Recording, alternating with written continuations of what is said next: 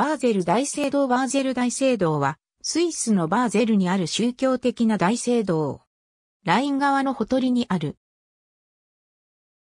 もともとはカトリック大聖堂であったが、今日では改革派プロテスタント教会となっている。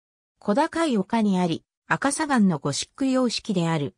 元のカトリック大聖堂は、1019年から1500年の間にロマネスク様式とゴシック様式で建てられた。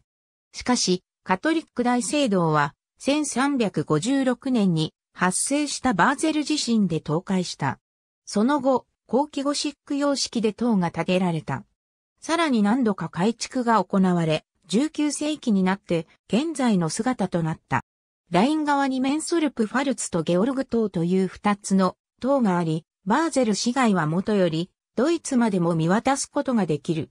塔は石段から木製階段と続く幾段もの階段で上部と下部がつながっている。19世紀制作のステンドグラスやキリスト洗礼の場面が描かれたステンドグラスなどがある。なお、大聖堂には美しいクロスターの回廊が隣接する。また、バーゼルで没したデジデリウス・エラスムスの墓は、この大聖堂の中にある。ありがとうございます。